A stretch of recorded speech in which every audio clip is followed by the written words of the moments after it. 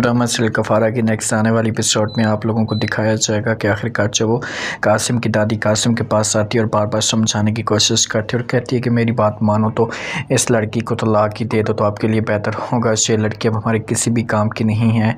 इसे जान छोड़ा दो हमेशा के लिए। इसे बात जब जहाँ पर फ़ौर सुनते हैं, कासिम तो अपनी माँ को समझाने की कोशिश करते और कहते हैं कि देखो माँ जी, जैसा आप चाहती हैं वैसा का वैसा होगा। जैसा आप सोचती हैं, वैसा वैसा का वैसा होगा। मुझे किसी किस्म का कोई भी इतराज़ नहीं है, लेकिन इस वक्त मैं कुछ भी नहीं कह सकता। इस वक्त मैं तलाक नहीं दे सकता।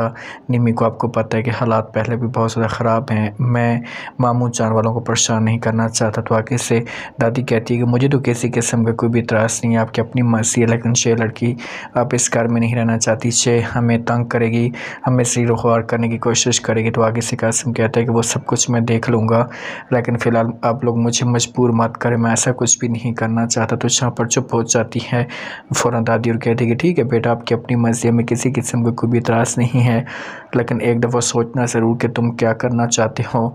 अपने दिमाग के अंदर ये सब कुछ बिठा देना कल को आपके लिए किसी किस्म का कोई भी मसला खड़ा ना हो कासिम कहते कुछ भी नहीं होगा जो कुछ भी होगा मैं हैंडल करने की कोशिश करूँगा सब कुछ देख लूँगा लेकिन इस वक्त मैं ऐसा काम नहीं कर सकता। आप लोग मुझे मजबूर तो इस मामले पर चुप हो जाती है दादी और मज़ीद बहस नहीं करती है और कहती है कि आप जाने और आपका काम जाने। अगर आप इसमें कामयाब हो भी जाएँगे तो आपको इसमें ज़रूर कुछ ना कुछ नुकसान होगा। दूसरी तरफ़ आप लोग ये भी देखेंगे कि सलाह आता है, अपने वालद के पास आकर बात करता और कहता है कि मैंने बहुत समझाने की कोशिश की है।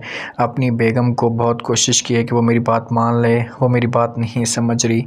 लेकिन एक जो पापा जान, आप भी बात कान खोल कर सुन लें। अगर कुछ भी हुआ सतारा को तो उसकी ज़िम्मेदार आप होंगे और मैं आप लोगों को कभी भी फिर माफ़ नहीं करूँगा। समझाने की कोशिश करते हैं जहाँ पर फ़ौर वाले दौर कहते हैं कि हम ऐसा कुछ नहीं कर रहे। अगर हम ऐसा कुछ करने वाले होते तो मैंने आपको कभी भी ऐसा नहीं कहा कि आप लोग जो है, जो मैं बात माने और मैंने सतारा को कभी ब्लैकमेल करने की कोशिश नहीं की। जब वो ख़ुद जॉब करना चाहती है तो मुझे कोई इतराज़ नहीं है। इसी वजह से रिक्वेस्ट करना चाहता हूँ कि आप बीच में मत दें सतारा जो कुछ भी करिए ठीक है। इसलिए कहते हैं कि वो, उसका मसला है, मैं उसे रोकूँगा नहीं। लेकिन अगर उसके लिए परेशानी बनी तो फिर मैं इसे नहीं देखूँगा कि आप हैं शमा हैं। मेरे लिए सिर्फ़ उसे सतारे कीमती है।